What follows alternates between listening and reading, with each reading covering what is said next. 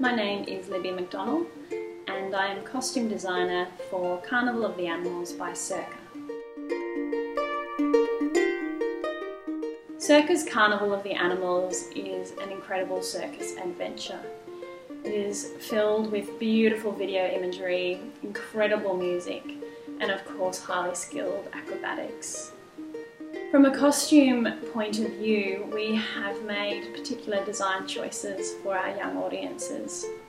One of the design choices includes the possibility for the young audience to play a bit of a guessing game um, what animal is where and who is what animal and those transformations that the acrobats will uh, go into and out of throughout the duration of the performance. Um, so that's really exciting.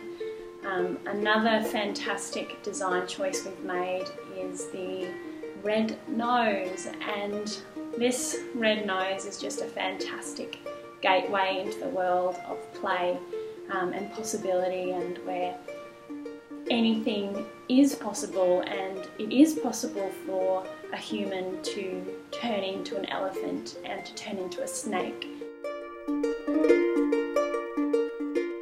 Out of the Box Festival is important for children because it's wonderful, it's fun, and it's also a cultural playground for young audiences and their families.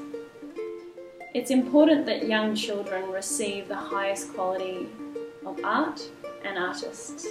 They're legitimate consumers of art and audiences, and just because they are small and perhaps reduced in size, it certainly doesn't mean that they deserve a reduced quality of the artistic product that they get to see and experience.